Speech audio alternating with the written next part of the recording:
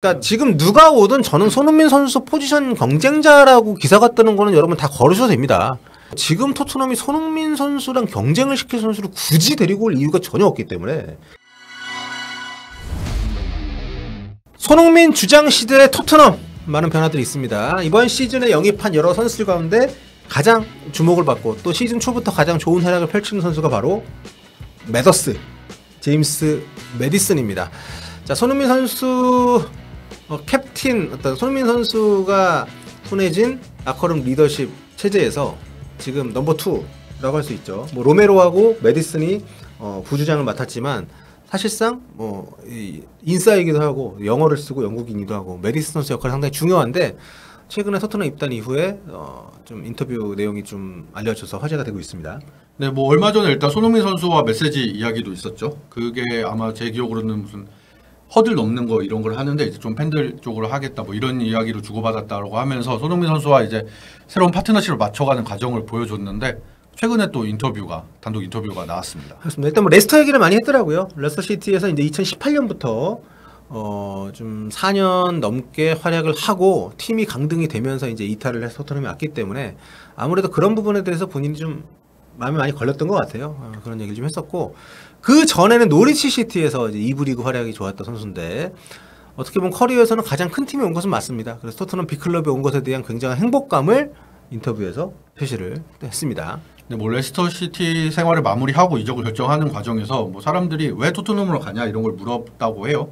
근데 자기가 뭐 살다 보면 여러 결정을 해야 하는데 자기 토트넘에 뛰는 모습을 내가 그릴 수 있었다, 쉽게 그릴 수 있었다 이런 인터뷰를 했고 현재 토트넘에서 정말 행복하고 토트넘은 빅클럽이다 네. 이런 인터뷰를 했습니다. 일단 뭐 이번 주말에는 못 나올 가능성도 있다고.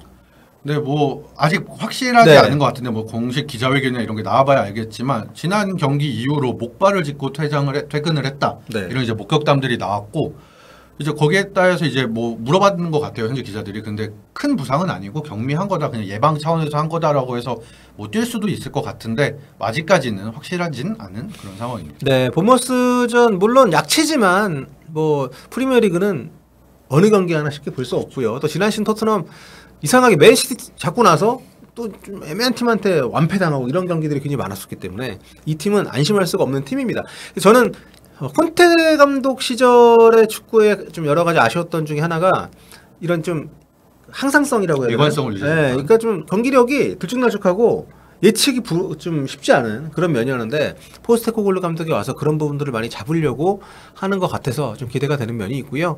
그리고 제가 어제 영상에도 뭐 말씀드렸습니다만 손흥민 선수를 주장으로 선임을 하는 과정에서 팀의 어떤 중심적인 그 여론 조성 내지는 팀 분위기를 만드는 선수의 어떤 그룹에 큰 변화가 있었기 때문에 그런 것들이 저는 시즌 초반에 성적하고 굉장히 좀 연계가 있다고 생각을 하거든요. 시즌 초반 성적이 만약에 안 좋아지면 그 라커룸 리더십에도 문제가 생길 수밖에 없고 또 감독이 추구하려는 전술적인 부분뿐만 아니라 팀 전체적인 운영 방식에 대해서도 의구심이 제기가 되고 흔들릴 수밖에 없기 때문에 성적이 어느 정도 좀 나와줘야 됩니다. 근데 그리고 그 성적의 많은 부분은 메뉴처럼 상대적으로 좀 강팀을 잡는 것도 물론 중요하지만 이런 본모스전 같이 이길 경기는 이겨줘야 되는 그렇죠. 네, 좀 잡아야 되는 경기는 잡아줘야 되는 이런 부분들이 좀 뒷받침이 돼야 된다고 보거든요. 그래서 저는 굉장히 중요한 어, 경기로 보고요.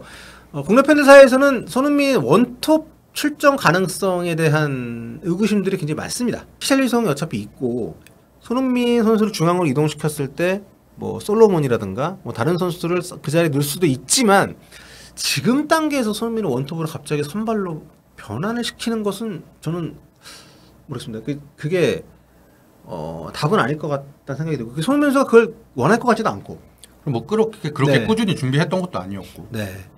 그래서 어, 손흥민을 톱에 쓴다고 하면 히샬리송 쓰는 것하고는 일단 역할이 달라질 거기 때문에 손흥민 선수가 거기서 포스트 플레이를 하진 않- 않을 거 아니에요. 그렇다는 것은 손흥민을 원톱으로 낸다는 것은 기본 기존에 쓰고 있는 전술에도 변화를 준다는 의미여서 이거는 준비가 좀 필요하다고 보거든요. 근데 아직까지 훈련 때 손흥민 선수가 톱에서 뛰었다는 거 그 단서를 못 봤기 때문에 어, 언젠가 그렇게 될 수 있겠지만 일단 당장 그런 시도를 하지는 않지 않겠느냐. 그리고 어쨌든 히샬리성 원톱으로 히샬리성이 못했지만 히샬리성 원톱 전술로 메뉴를 잡았기 때문에 이런 상황에서 전술적으로 큰 변화를 가하지는 않지 않겠느냐. 그렇죠. 굳이 뭐 변화를 네. 줄 이유가 없을 수도 있죠. 네 그런 생각 저 개인적으로는 하고 있습니다. 반박시 여러분 말이 맞습니다만. 네. 어, 제 생각이고 이런 초반의 분위기를 이어가기 위해서는 그래서 메디슨 선수가 별 부상 없이 나오는 것도 중요하지만 어, 또 토트넘의 제가 지난 시즌 지난 시즌 아셨던 것 중에 하나 뭐냐면 주전 의존도가 너무 센 팀이었어요.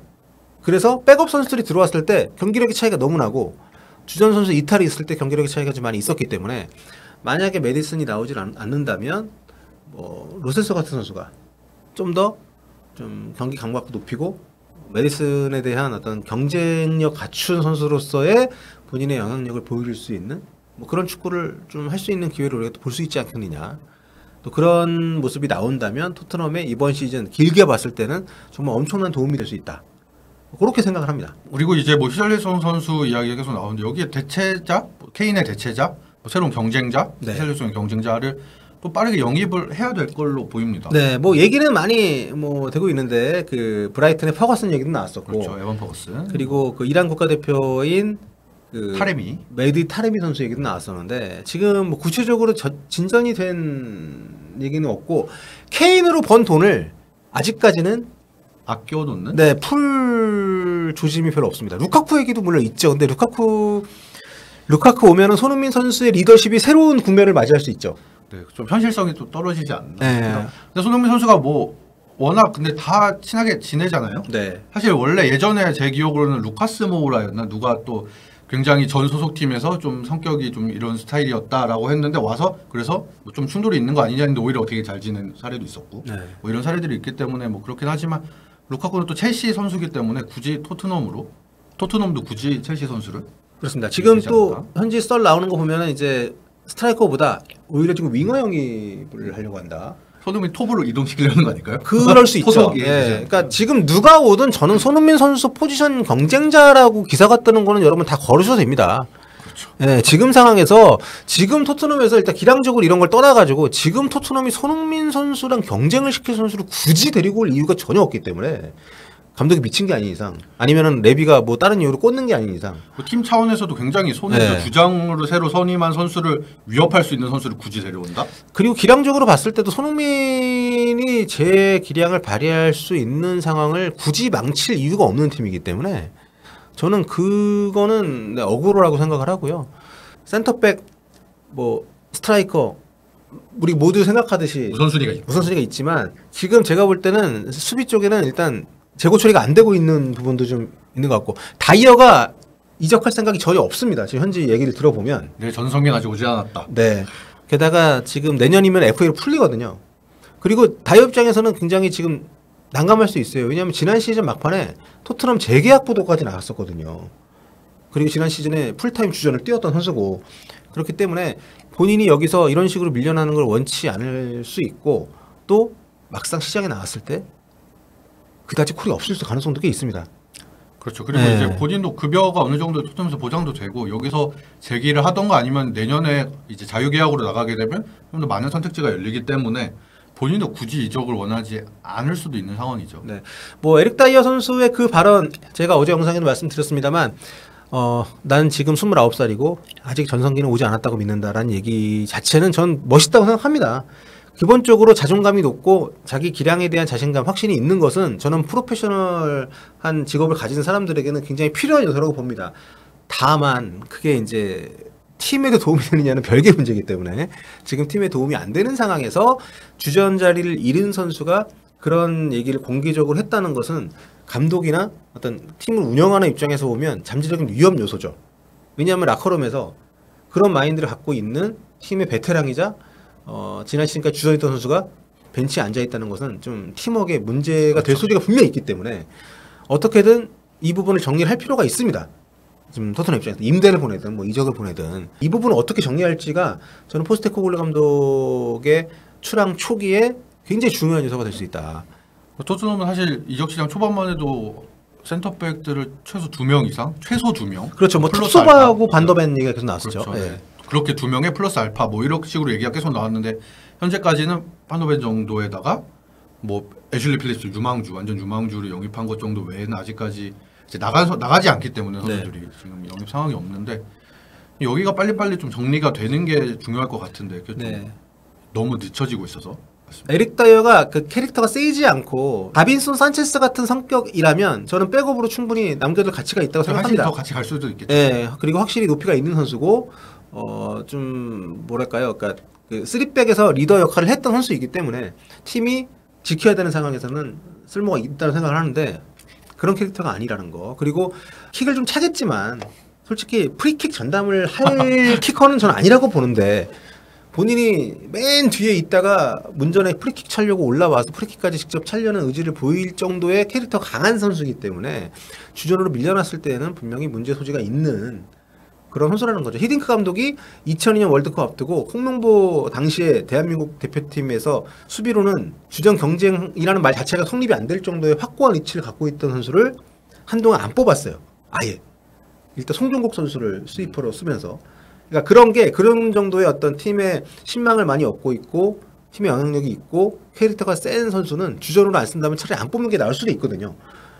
그런 상황에서 여러 가지로 지금 네 정리가 되고 있는 상황인데 어, 그렇다 하더라도 저는 그 정리하는 별개로 수비 정비해야 된다. 그리고 수비수가 오면 본인이 알아서 나갈 수도 있지 않을까요? 그 메리슨처럼 딱 와서 새로운 리더십에 딱 한쪽 무릎을 꿇고 충성을 다지만은 이번에 그 개막전 앞두고 손흥민 선수가 문자를 돌렸다고 하잖아요. 아, 네. 예, 우리 이제 팬들한테 경기 앞두고 하는 그 허들이라고 네, 부른다고 그렇죠, 하는데 그 어, 뭐랄까 경기를 준비하는 그런 세레모니들을 팬들 팬들의 쪽으로. 가까운 쪽에 가서 하자.